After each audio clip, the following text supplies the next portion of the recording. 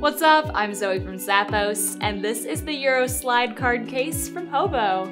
This slim card case is made of leather that has a little metallic sheen to it. There is one zipper pocket on the front that can hold any loose change and a larger slip pocket behind it. On the opposite side, you have six card slots and one of them has the little ID window pane. You can slide this style into any bag you own. It's from Hobo.